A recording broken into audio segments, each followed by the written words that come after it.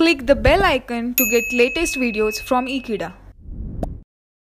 Hello friends, in the previous lecture we have understood that how can we analyze the percentage of carbon as well as the hydrogen that has been present in the organic compound. So, so based on that only we are going to analyze that is uh, we are going to do that is qualitative analysis of uh, the elements such like nitrogen, halogen and uh, sulfur that could be present in the organic compound. So based on that we have a method that is known as Lassaigne method for the detection of nitrogen, sulfur and halogen in the organic compound. So let us understand this thing very clearly.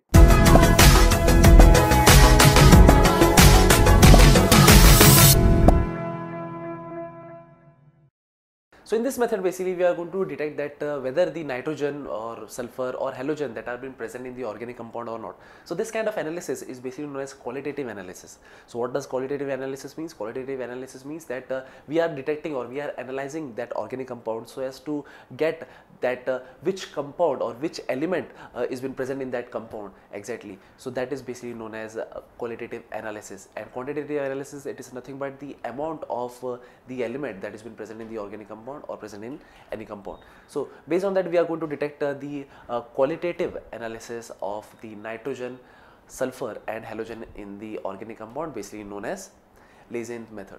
So what does this method and how can we do this method so as to estimate this uh, following uh, uh, elements in the organic compound.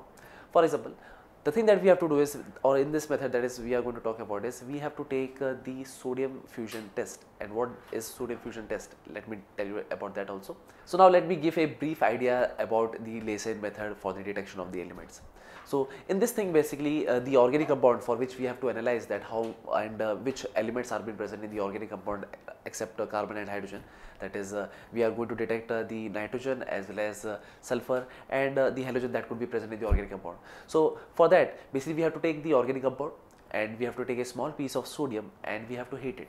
So this kind of reaction is basically is done in sodium fusion test where in the sodium fusion test we are taking a small amount of the compound whether it could be solid or liquid and uh, in that basically we are adding a small piece of sodium and we are heating it. So after heating basically uh, the organic compound it will react with the uh, sodium and uh, during a, a, tremendous amount of heat obviously the sodium that will be reacting with uh, the organic compound obviously it will form a particular other compound also. And those compounds are basically known as ionic compounds of sodium.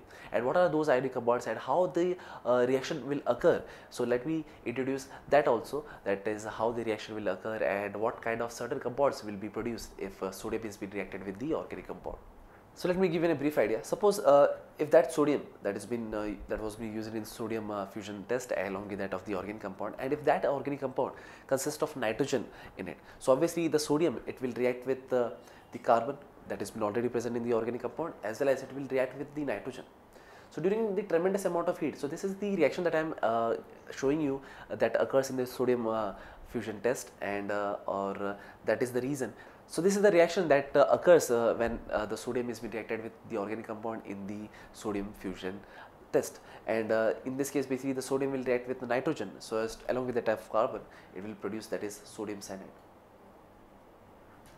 So now this ionic compound that has been produced now that would be used to detect whether the nitrogen is been present or not. Obviously suppose if the organic compound consists of nitrogen in it and obviously the sodium will uh, react with uh, the nitrogen so as to form sodium cyanide and this sodium cyanide is now further used so as to confirm whether the nitrogen has been present in the organic compound or not. So this is what happens if the organic compound consists of nitrogen. But as I have uh, said earlier also that is the organic compound could also consist of sulfur in it. So that is what we are doing this kind of uh, analysis over here. So now we see the sodium that could be reacted with the sulfur that has been present in the organic compound or that could be present in the organic compound. So therefore 2 moles of sodium it will react with sulfur so as to produce sodium sulfide that is Na2S. And uh, talking about the halogen obviously suppose if the sodium reacts with uh, uh, any element uh, suppose like bromine, chlorine and iodine that is present in the organic compound. So it will react with uh, the halogen and so as to form that is uh, sodium halide.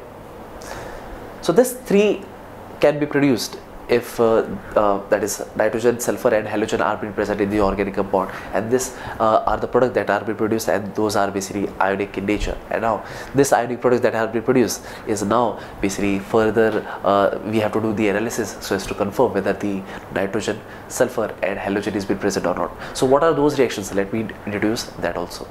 So here I am representing those reactions and uh, which will be reacted with uh, that of the sodium fusion extract. So this is the ionic compound that has been produced but uh, the thing is we have to obtain it by using distilled water. Yes obviously this uh, kind of the sodium fusion uh, tube that is what we have taken and we have added uh, the organic compound along with that of the sodium and we have heated it. So uh, the ionic compounds has been produced uh, that has been present in uh, now that has been present in the sodium fusion test the ionic compounds that are being produced and that are being present in the sodium fusion and now this are basically they are being dipped in uh, the distilled water. And uh, the thing is this ionic compounds which are very much soluble in uh, distilled water so this compounds will be getting soluble in, in distilled water while the rest of the impurity uh, that will not get dissolved. And this is how we can extract or we can differentiate this uh, uh, soluble ionic compounds and that is basically known as sodium fusion extract and because of this sodium fusion uh, extract uh, that is what we have differentiated uh, and now this would be very much useful in detecting the nitrogen in detecting sulfur and detecting the halogen that could be present in the organic compound. So, let me give you the analysis that how the reaction occurs. So, let me tell about the first one that is the test for nitrogen.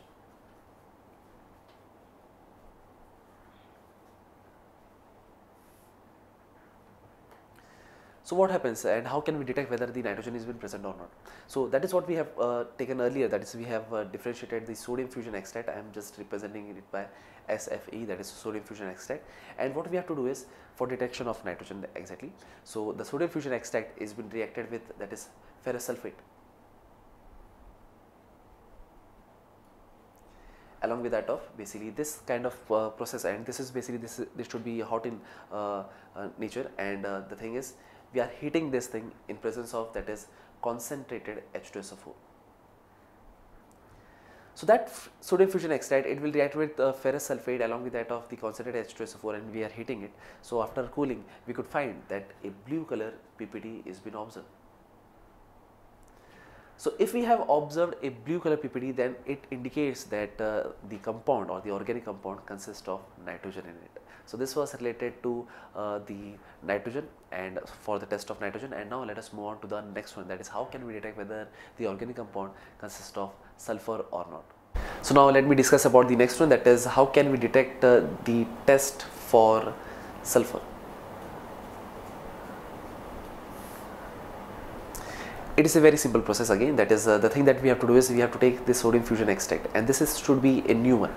Uh, or else we could uh, basically we could heat the sodium fusion extract. So as the so we have to take a new uh, that is a sodium fusion extract or the same thing uh, but uh, this is the new test that is what we are going to do so as to detect the sulfur in it.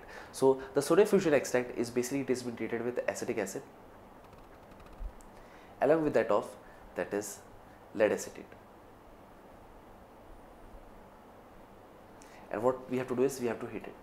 So in this process basically if the sodium fusion extract consists of, uh, so in this test basically the sodium fusion extract suppose if that consists of sulfur in it and suppose if that is been basically reacted with acetic acid along with the lead acetate then uh, basically uh, sodium acetate is uh, the one that is been formed. And sodium acetate is basically soluble in nature while the rest of uh, the product that is being formed is basically PBS that is lead sulfide and this is basically black color or black PPT we could say. So this can be only generated if the sodium fusion extract consists of uh, sulfur in it and that is how basically the lead sulfide has been formed and this is how we can detect whether the uh, the organic compound that consists of sulfur or not. So this was the test for sulfur and we could do analysis of that also. And now let us move on to the next one that is how can we detect the halogen that is been present in the organic compound. That is we are doing that is the test for halogen in the organic compound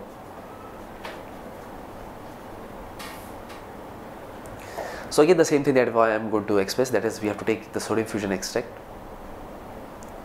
and we have to react it with the concentrated HNO3 along with that of that is AgNO3. But halogens are the one uh, that could be chlorine, bromine and iodine. So suppose in that case basically we could get three kind of possibilities or three kind of observation we could uh, get. That is suppose if uh, the sodium fusion extract has been reacted with HNO3 along with that of it will produce uh, uh, along with that of HNO3 so it will produce certain PPTs and uh, that is basically known as precipitates. So suppose if we have got white PPT and suppose that white PPT is basically it has been soluble in uh, ammonium hydroxide then we could say that chlorine is been present in the organic compound. And in that case suppose if SFE or that is sodium fusion extract has been treated with HNO3 along with that of uh, AgO3 and in that case suppose if we have got a pale yellow precipitate or we basically we could also call it as PPD. Suppose if that is what we have got, then we could say that uh, the bromine is basically present in the organic compound. And this PPD that has been formed, that is this pale yellow PPD, it is not that much soluble in uh, ammonium hydroxide, and this is basically sparingly soluble in ammonium hydroxide. So by that also we could confirm that is bromine has been present in the organic compound or not. So now let us move on to the next one, and the next possibility is suppose how can we detect uh, whether it consists of uh, the iodine in it. So the same thing that is whenever the SFE is reacted with HNO3 along with that of uh, AgNO3, then suppose if we have got a yellow PPT or yellow precipitate and that is basically soluble in NH4OH. So we could say that is iodine is been present in the organic compound. So this is how we can detect uh, the that is nitrogen, sulfur and halogen that are present in the organic compound. So this was the test regarding that and that is what I have explained you. So that's it. So thank you friends for watching this video. I hope you have understood this video very clearly and you have got to know the various concepts behind this and uh, yes we have also understood that is uh, in spite of carbon and hydrogen we could also detect the other elements like this one that are present in the organic compound. So thank you friends for watching this video. I hope you will share this video with your friends and yes don't forget to subscribe to the channel. Thank you so much.